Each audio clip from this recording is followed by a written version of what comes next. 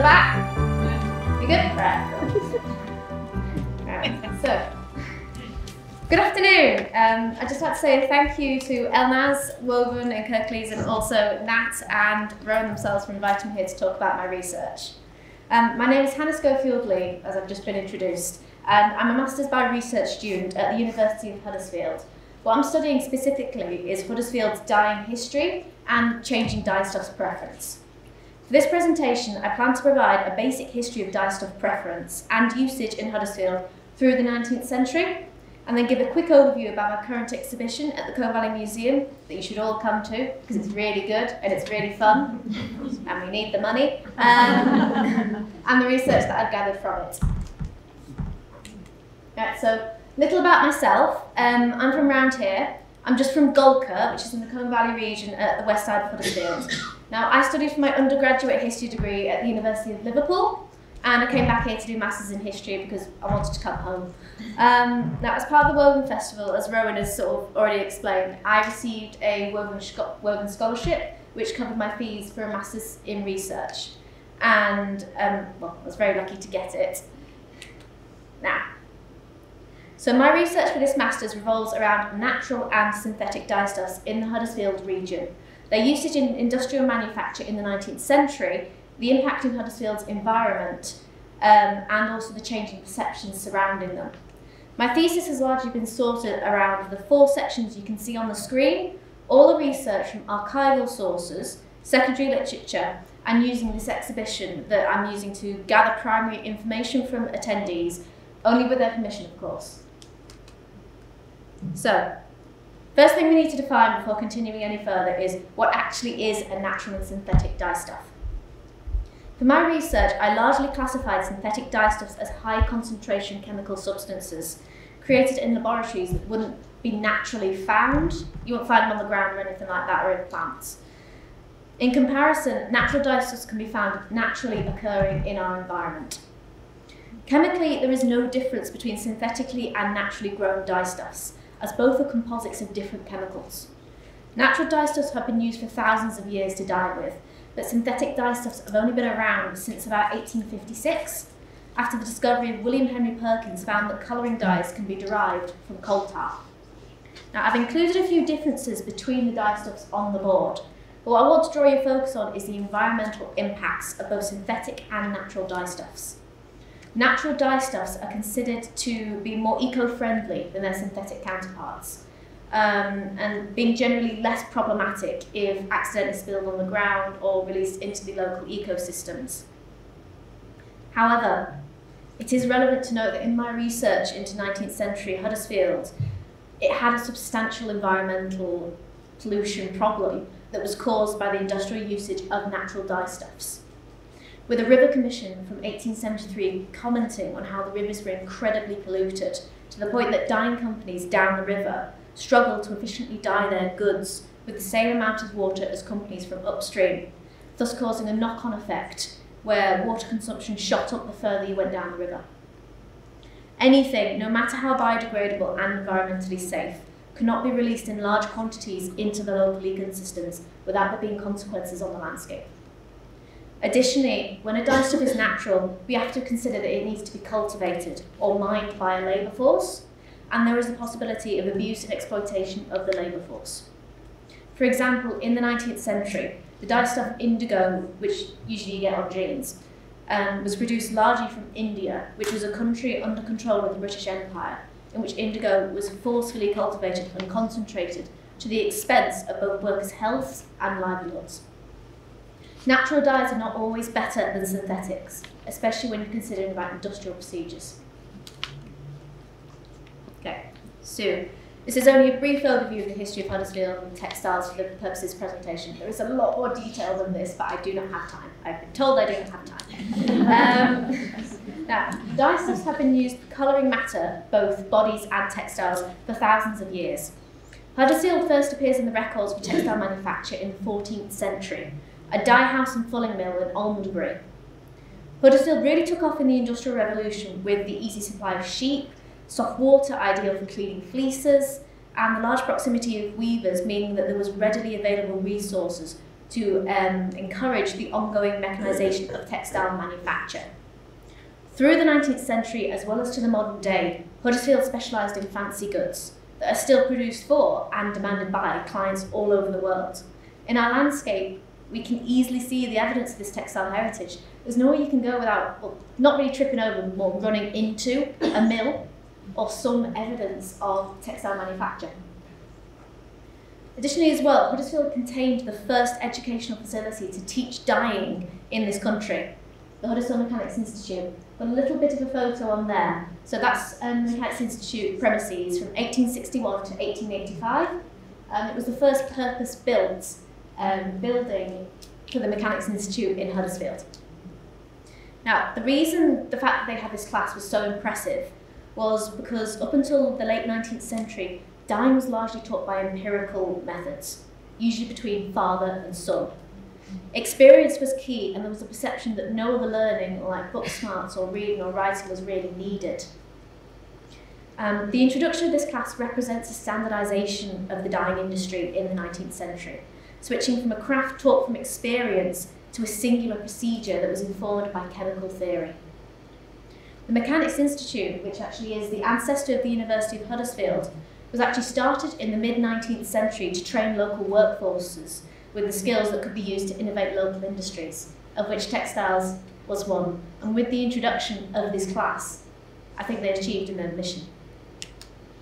So, this is just a brief timeline, and it's only indicative of dye usage in Huddersfield. It's only highly likely there will have been companies that either utilised synthetic dyes before the date stated on the board, or continue to use natural dye stuffs long after the 1930s. Huddersfield was actually at the forefront of dye innovation, with the Read Holliday firm being one of the first to produce aniline dyes for textile manufacturers in this area. Aniline, by the way, was the, one of the first um, dye stuffs created by William Henry Perkin. It also had numerous textile professionals training in the chemistry of dyeing at the Mechanics Institute. Now, it is widely believed that by the 1930s only synthetic dyestuffs were used, and this does make logical sense. Synthetics were considered, they were not looked upon favourably by older dyers of an older generation. Um, but it had been 80 years by this point since the first invention or the first discovery of a synthetic dye stuff. And by this point, many of the older dyers who were trained with natural dye stuffs, they retired. They phased out of the business. But then we've got a lot of younger dyers that are coming into this industry who are much more comfortable using synthetics because they know the chemical theory behind it and they're not trained as much on natural dye stuff. They're not afraid to push the boundaries of colour and see what they can find. Now, things as well, another thing that bucks this trend about natural dye stuffs is, so the dye stuff I mentioned earlier, indigo, that was produced in India. Now, it's really important to mention the fact that this was still produced, like, this was still produced in its natural form um, throughout the, 20, like, the 20th century. And by the 1950s even, natural indigo was still sold on the London Stock Exchange. It's a case of if this natural dye stuff survived for as long as it had in such you know large quantities and for industrial use, how many others are out there that we haven't found yet? It, so, the research here is primarily based off of documents contained in the Huddersfield Mechanics Institute archives, um, collection at the Heritage Quay Archives, which are just that way um, as well as industrial dyeing manuals that are available from Kirklees Local Studies Library. If you talk to Lorna over there, raise your hand, Lorna, there you go, yeah. Lorna very much helped me with this research and she can, will very much, and very happily I hope, help others with it as well. She can guide you towards those manuals. So, the general attitudes of the Huddersfield region in the mid-19th century after the discovery of this third synthetic was very much mistrust. Um, you have to remember that at this point in time, dyeing was very much a trained craft. These dyers had cultivated recipes over hundreds of attempts from years of experience. The reluctance to utilise synthetic dyes wasn't just because they didn't want to abandon their training. Dyeing mistakes were costly. The chosen dye stuffs would be used up, and the dye fabric would then have to be stored until it could be sold on, if it differed from the wanted end result. So it's a case of dyes were being, they were cost incentivized. They didn't want to do too much exploration, otherwise they'd lose money. They'd lose money and they'd potentially lose their livelihoods. Due to manufacturers being focused on lowering costs and increasing profits, the unwillingness to innovate and possibly waste money makes logical sense. The preference for natural seems to have only switched from preferring natural to preferring synthetic as the availability of synthetic dyes increased and thus the cost of synthetics came down. At this point as well, manufacturers, well, they realise that with synthetics, you've not got the issue of it don't rub off fast. You've not got the, the short rubbing fastness. Or, and it stays the same colour for much, much longer. It doesn't fade in the sun. And additionally as well, um, they found that you could get the same colour each time. There wasn't this whole sort of, oh, it's a completely different shade. Whoops. so in my research as well, I found that dye literature written from the end of the 19th century and the beginning of the 20th century focused entirely on that focused entirely on practical applications of dye stuffs. Um, when it was talking about synthetic dye stuffs, it was written by people who were young this younger generation of dyers. It wasn't this older generation who, well, by the 1930s, as I said, they'd phased out the industry completely.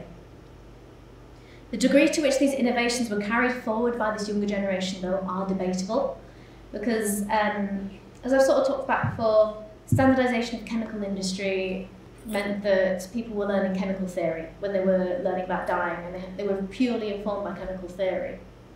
And this sort of allowed them to this allowed more of a scientific method and scientific procedure when dyeing, such as you weigh out your ingredients, you do health and safety precautions, etc., etc., stuff like that. But then I found numerous articles from the 1920s complaining about the younger generation and talking about how, oh, they're still measuring stuff with their hands. I mean, health and safety violation there, but still, it's that sort of thing. So it's debatable as to how much this did happen. Great. So now onto the exhibition. So just to let you know, this is still very much ongoing at the Colne Valley Museum. I will be there tomorrow. It's open on the weekends. It's 12 till 4. Uh, Colne Valley Museum is just in Golcar. It's £3 for entry for adults and it's free for children. Just, I need to market it. I'm told I need to market more. There's a few different bushes you can get there. Um, anyway, so now this is the Dye Remedies garden that the exhibition is meant to accompany. This was created using the seed fund that was provided for by Woven and is currently very lovely and blooming. The plan is to actually keep this garden after the end of the festival and to explore what other dye stuffs we can grow in it and then, you know, take them, chop them up and throw them in a bath and see what we can use to dye some yarn. So the reason I've included this is because in discussions with volunteers at the museum, I found out that after renovation work of the museum itself in the 1970s, they actually found dye vats buried underneath the croft, under those flags over there. And the only reason I actually found this out was because I was talking to one of the original museum volunteers. This is that's why it's always best to chat to people. Chat to people until your ears fall off. Now, the issue is, this recollection could easily have been lost to time if not for this chat. Um, this is symbolic of a lot of practice in the dyeing industry, um, or, and especially in the history of the dyeing industry. There is a lot we don't know because it wasn't written down to prevent industrial espionage, as well as dyers just, well, it wasn't the perceived need to write things down. Now, by using this exhibition as a prompt, I intend to collect these different snippets of oral history and people's connections to dyeing, either through exposure in daily life or direct practice. I want to collect these memories before we lose them forever. So the exhibition itself contains a lot of information regarding the sourcing of commonly used dyes from the 19th century, such as logwood, cochineal and indigo. And I wanted to place the industrial usage of these natural dyestuffs in Huddersfield to represent the fact is our textile industries were connected all over the world. The supply chains were very much interconnected. We weren't just like a little local village there. It was very, very international. Now, native natural dyestuffs mm. were not extensively used in Britain's textile manufacture, likely because many of the dyes that can be gathered here take immense quantities to achieve any vivid colours. In comparison, many international natural dye stuffs, they provide much more colour, much more exciting colours, for much less effort. Now, got my local history exhibits on the bottom right. This is from Loam, from the Tolson Museum. They've got a lot of different artefacts. Um, but this is talks about John Noel. Now he was called the Thornbury Witch. He's from Almondbury. And if you want to learn more about him, I suggest you come to the exhibition. no, so as mentioned before, this exhibition is a way of sourcing oral history, as well as modern day understanding and preference for dye stuffs. The information is collected at four points around the exhibition. The first being a series of counter boxes that people can drop a token in, symbolising whether they think natural or synthetic dyes are better, or even using the both token, if people are a bit more sort of nuanced about it and think, you know what, they've both got their uses, I like both. Now, following on from this vote, there is a book on the middle table that usually that asks people why they chose this opinion. So, usually after a bit of begging, um, they usually then talk about the decision behind the dye stuffs and they write it down in this book. So, the third point is a memory book where I ask anyone who does have exposure to dyeing or stories to tell around the subject to write down in their own words what they think. And finally, I have a series of postcards on the table by the door which anyone could submit with their details to be contacted for an interview, allowing me to take a more detailed account of their experiences with colour and coloured textiles. Now, this information is to ground my thesis arguments and provide evidence for my conclusions, especially when talking about general perceptions, it's very hard to talk about general perceptions when it's just a case of, oh, you've got no evidence. So, thought might as well. Now, the results of research from this exhibition have already been immensely helpful. Of those who interacted with my exhibition, there has been an overwhelmingly dominant vote for natural dyestuffs, usage over synthetic, even with the inclusion of the counter for people who like both and have little preference. In contributed explanations of this decision, people largely reference concerns of environmental impact, being better for the environment than synthetics, and also the softness of the shades when compared to synthetic colours. This suggests of, at least from my exhibition participants, um, sustainability and limited environmental impact are considered in fabric and garment preference, and especially in the buying of it. Now, in regards to the memory gathering, there has been much less responses, except if you all come along and like to talk about your memories, which would be great. Um, there have been amazing crackers though. People largely talk about their own experiences and experiments with natural dyes, what has and hasn't worked. Although there have been less contributions to this part of the exhibition, it has facilitated the recording of different people's experiences using dyes and creating colour, which personally I consider a success. And additionally, when discussing, I was asking about people to input their memories into this book. I found that quite a few people, not just volunteers at the museum, but um, people who've just popped in for, for a look, they've been dyeing and textile professionals. And I've been able to identify them and ask for their contact details for later interviews to get much more information about it. So, overall, very much exhibition I think has been a success. Thanks. Thank you very much for listening today.